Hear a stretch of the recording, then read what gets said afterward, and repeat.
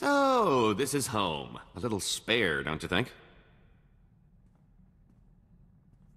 It serves well enough. You're practical, I get it. I'm not suggesting plating the hull in gold.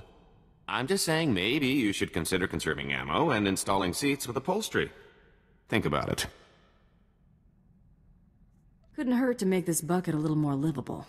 Oh, I can recommend some folks who keep a good selection of before market parts so as not to strain your budget. We can't all be fabulously wealthy criminal masterminds, but this bounty hunting gig seems straightforward enough. Besides, I like the idea of doing the chasing for a change, even if I am slumming it.